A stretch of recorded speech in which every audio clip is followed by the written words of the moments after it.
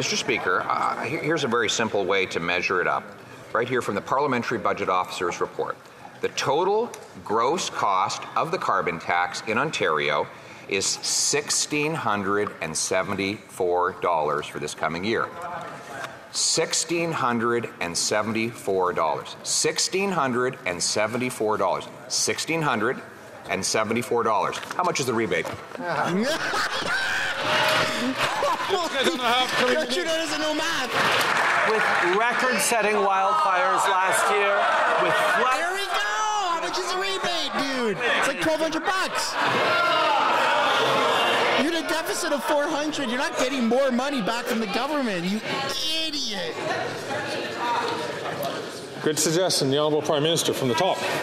Mr. Speaker, with record setting wildfires across the country, with droughts, with floods, Canadians know the costs of the impacts of climate change. The Leader of the Opposition has no plan to fight climate change. He's not proposing anything except, Mr. Speaker, to pull away both the price on pollution, which forces polluters uh, to pay right across the country, that puts more money through checks that arrive nope. four times a year in Canadians' pockets in where in the in the jurisdictions where there is a carbon price. We have a plan to fight climate change and put money in people's pockets. He has no plan.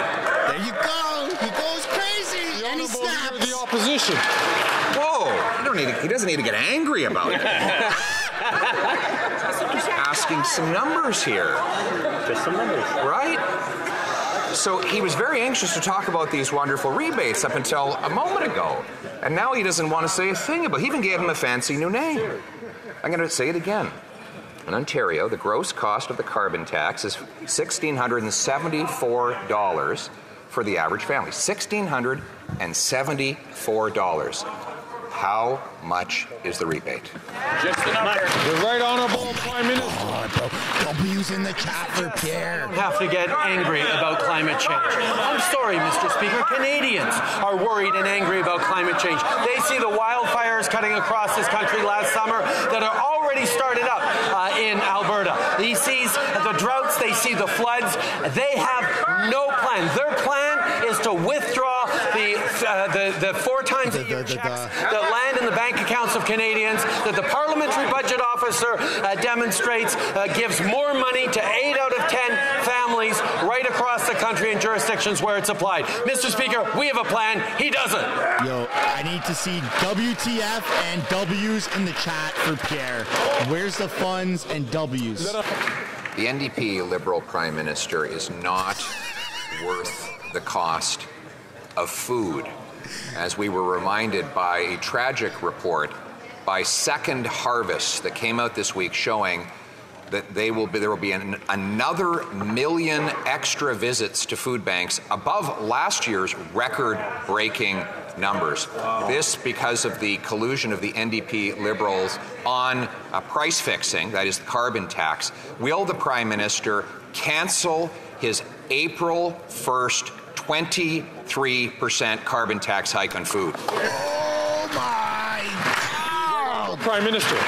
Speaker, as one of the Conservative leader's own MPs recognized, there is absolutely no data or proof to link uh, their theory around the price on pollution and uh, the price of groceries. But if they actually cared about affordability for Canadians, they would have voted in favor of uh, dental care for our most vulnerable seniors, for uh, young families uh, that can't afford to send their kids to the dentist. That's what we are delivering. We'll teeth, they are voting against. They they wouldn't be stalling on the competition reforms, uh, reforms to ensure that we're actually moving forward on greater competition to stabilize grocery prices.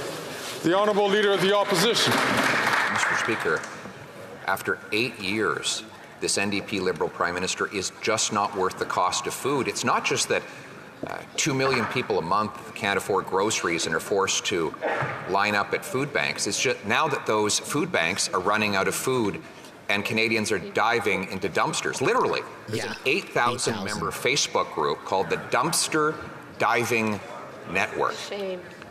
How can the Prime Minister look those people in the eyes and raise taxes on their food when they're eating out of garbage cans? Yeah. The Right Honourable Prime Minister.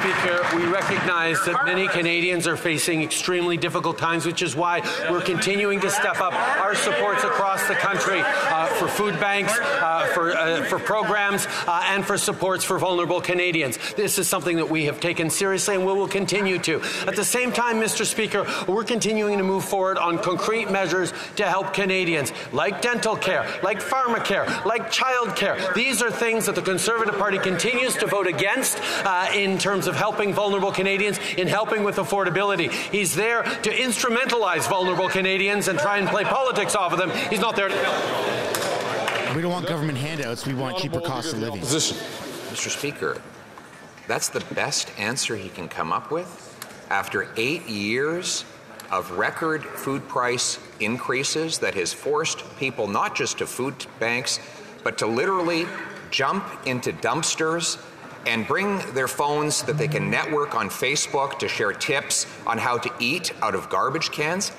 In Canada, life was not like this before this Prime Minister, and it won't be like this a- after he's gone. In the meantime, will he at least have the humanity to cancel his April 1st 23% tax hike? Damn, dude.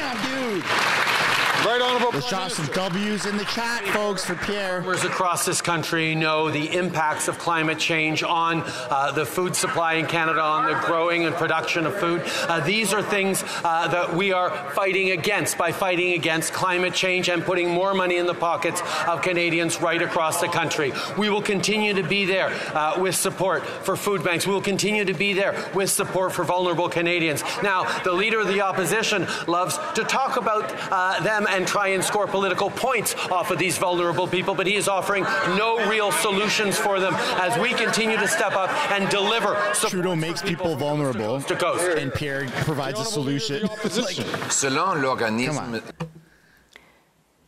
According to the Second Harvest organization, there's there have that's been an additional deranged with 1 Justin million Trudeau. visits, or there will be 1 million additional visits this year due to food inflation. These additional visits to food banks have been caused by the Prime Minister. According to some experts, the Prime Minister should at least freeze the carbon tax, but the Bloc Québécois has voted to radically increase the taxes on the farmers who produce our food. Will the Prime Minister ignore the Bloc Québécois for once, cancel the costly coalition, and axe the tax on food? The Right Honourable Prime Minister. Mr. Speaker, no party in this House needs to be preached to by the Conservative Party when it comes to helping vulnerable people. Because the Conservative Party just wants to lower taxes on the wealthy,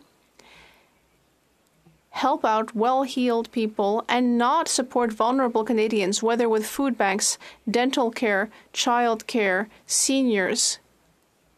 We know that the Conservatives only have austerity and cuts to offer. We will continue to be there for people and fight climate change.